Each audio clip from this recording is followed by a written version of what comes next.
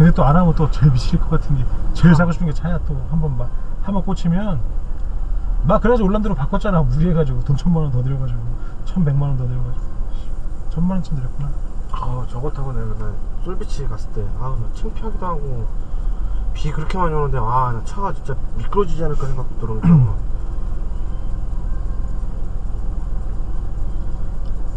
레이 좋지